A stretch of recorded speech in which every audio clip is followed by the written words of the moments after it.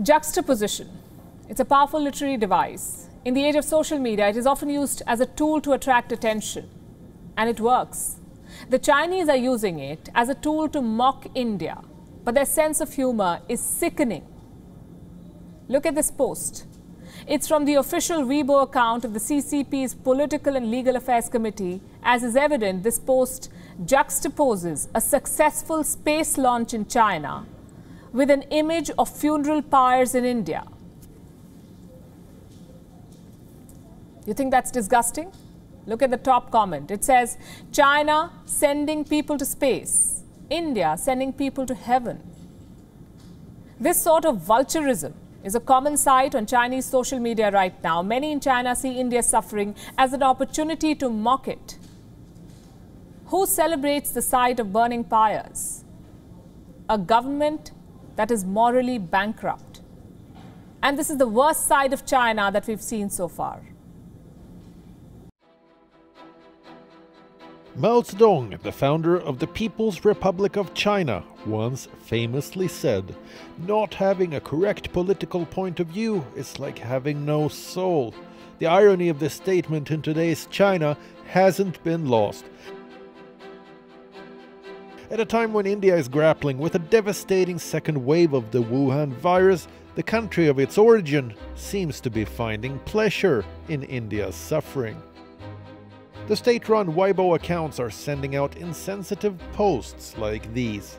China ignites versus India ignites.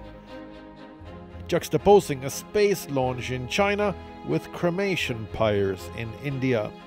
What's worse is that the account that posted this image is linked to the Central Commission for Political and Legal Affairs, a powerful organ of the ruling Communist Party which oversees law enforcement in China. The post has now been deleted. Just like this one, which compared China's Fire God Mountain, an emergency hospital built in Wuhan, with what it called the Indian Mountain of Fire, with an image of mass cremation in India. When asked for a clarification on this abominable sense of humor, the Chinese Foreign Ministry feigned total ignorance, hiding behind the excuse that the posts can no longer be found. But the Chinese state media is awash with such comparisons and commentary. Guancha, a state-run website, carried this headline on Saturday, mocking the Indian Prime Minister for praying at a shrine. The Global Times carried this headline last month, saying India cannot afford a China decoupling as the virus rages.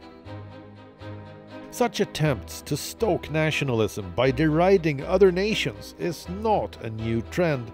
The Chinese media and China's wolf warrior diplomats have a long history of mocking the world. Just this week, the Chinese embassy in Japan posted this anti-Semitic tweet and deleted it.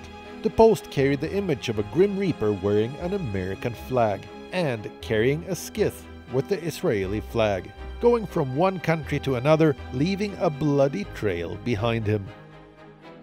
In November 2020, Zhao Lijian, Chinese Foreign Ministry spokesperson, posted this a digitally altered image that appeared to show an Australian soldier slitting the throat of an Afghan child. And during the 2017 Doklam standoff, state-run Xinhua news agency released this video, parodying Indians for the way they look and speak.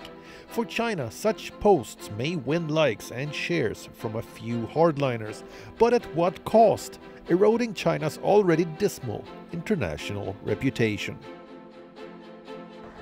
Bureau Report, WION, World is One. WION is now available in your country. Download the app now and get all the news on the move.